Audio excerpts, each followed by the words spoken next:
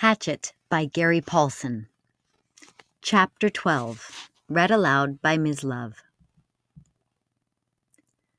The fish spear didn't work. He stood in the shallows and waited again and again. The small fish came closer and closer, and he lunged time after time, but was always too slow. He tried throwing it, jabbing it, everything but flailing with it, and it didn't work. The fish were just too fast. He had been so sure, so absolutely certain that it would work the night before. Sitting by the fire, he had taken the willow and carefully peeled the bark until he had a straight staff about six feet long and just under an inch thick at the base, the thickest end. Then, propping the hatchet in a crack in the rock wall, he had pulled the head of his spear against it, carving a thin piece off each time, until the thick end tapered down to a needle point. Still not satisfied, he could not imagine hitting one of the fish with a single point. He carefully used the hatchet to split the point up the middle for eight or ten inches and jammed a piece of wood up into the split to make a two pronged spear with the points about two inches apart. It was crude, but it looked effective and seemed to have good balance when he stood outside the shelter and hefted the spear. He had worked on the fish spear until it had become more than just a tool. He had spent hours and hours on it, and now it didn't work. He moved into the shallows and stood, and the fish came to him. Just as before, they swarmed around his legs, some of them almost six inches long. But no matter how he tried, they were too fast.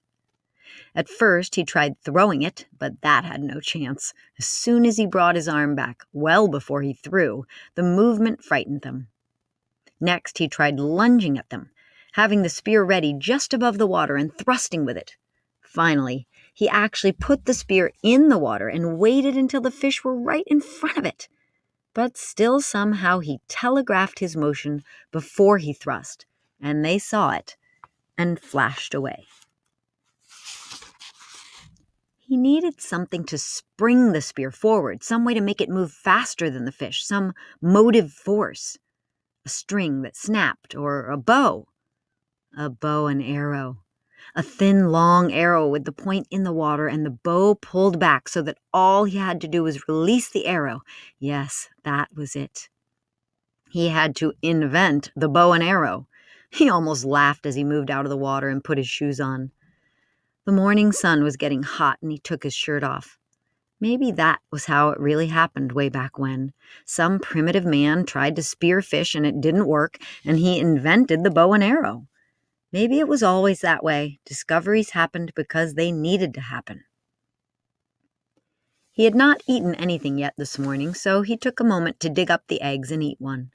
Then he reburied them, banked the fire with a couple of thicker pieces of wood, settled the hatchet on his belt, and took the spear in his right hand and set off up the lake to find wood to make a bow. He went without a shirt, but something about the wood smoke smell on him kept the insects from bothering him as he walked to the berry patch. The raspberries were starting to become overripe just in two days, and he would have to pick as many as possible after he found the wood, but he did take a little time now to pick a few and eat them. They were full and sweet, and when he picked one, two others would fall off the limbs onto the grass, and soon his hands and cheeks were covered with red berry juice, and he was full. That surprised him, being full. He hadn't thought he would ever be full again, knew only the hunger, and here he was full. One turtle egg and a few handfuls of berries, and he was full. He looked down at his stomach and saw that it was still caved in did not bulge out as it would have with two hamburgers and a freezy slush. It must have shrunk. And there was still hunger there, but not like it was, not tearing at him.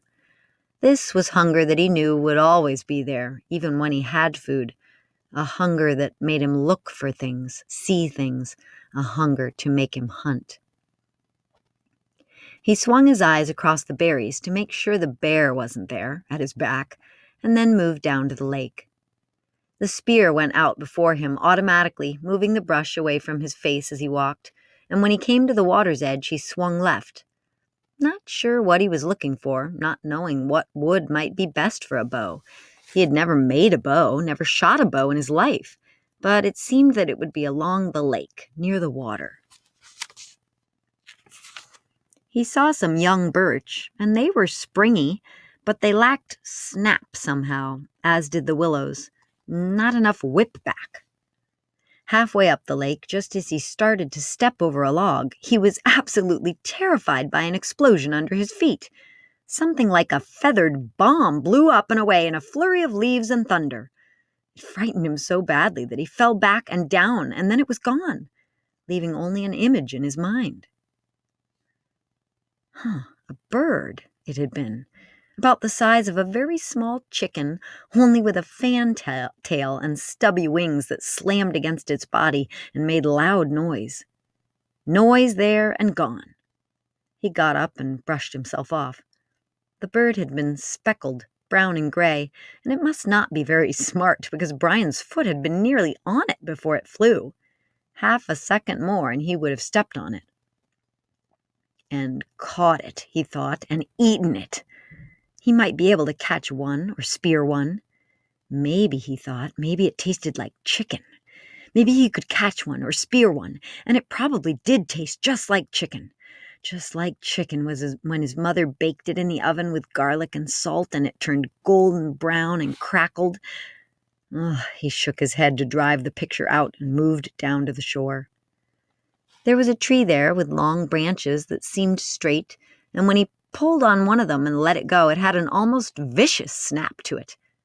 He picked one of the limbs that seemed right and began chopping where the limb joined the tree. The wood was hard and he didn't want to cause it to split, so he took his time, took small chips, and concentrated so hard that at first he didn't hear it.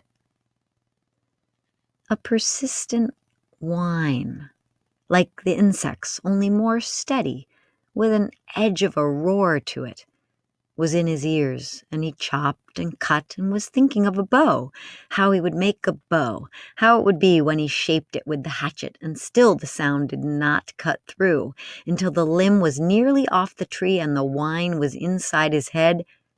And he knew it then. A plane! It was a motor, far off but seeming to get louder. They were coming for him! He threw down the limb and his spear and, holding the hatchet. He started to run for camp. He had to get fire up on the bluff and signal them. Get fire and smoke up.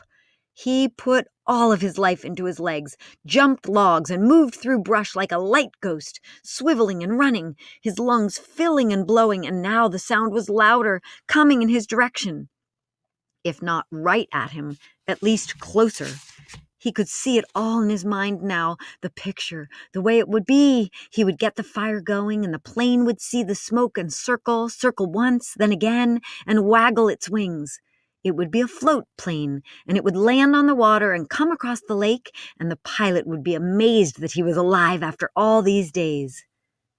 All of this he saw as he ran for the camp and the fire. They would take him from here, and this night, this very night, he would sit with his father and eat and tell him all the things. He could see it now. Oh, yes, all as he ran in the sun, his legs liquid springs. He got to the camp, still hearing the whine of the engine, and one stick of wood still had good flame. He dove inside and grabbed the wood and ran around the edge of the ridge, scrambled up like a cat, and blew and nearly had the flame feeding, growing, when the sound moved away. It was abrupt, as if the plane had turned. He shielded the sun from his eyes and tried to see it, tried to make the plane become real in his eyes. But the trees were so high, so thick, and now the sound was still fainter. He kneeled again to the flames and blew and added grass and chips, and the flames fed and grew, and in moments he had a bonfire as high as his head but the sound was gone now. Look back, he thought. Look back and see the smoke now, and turn, please turn. Look back, he whispered, feeling all the pictures fade, seeing his father's face fade like the sound, like lost dreams, like an end to hope. Oh, turn now and come back. Look back and see the smoke and turn for me but it kept moving away until he could not hear it even in his imagination, in his soul. gone. He stood on the bluff over the lake, his face cooking in the roaring bonfire, watching the clouds of ash and smoke going into the sky, and thought, no, more than thought, he knew then that he would not get out of this place. Not now, not ever. That had been a search plane. He was sure of it. That must have been them, and they had come as far off to the side of the flight plan as they thought they would have to come, and then turned back. They did not see his smoke, did not hear the cry from his mind. They would not return. He would never leave now, never get out of here. He went down to his knees and felt the tears start, cutting through the smoke and ash on his face, silently falling onto the stone. Gone, he thought finally. It was all gone, all silly and gone. No bows, no spears or fish or berries.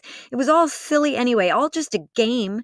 He could do a day, but not forever. He could not make it if they did not come for him some day. He could not play the game without hope, could not play the game without a dream. They had taken it all away from him now. They had turned away from him, and there was nothing for him now. The plane gone, his family gone, all of it gone. They would not come. He was alone, and there was nothing for him.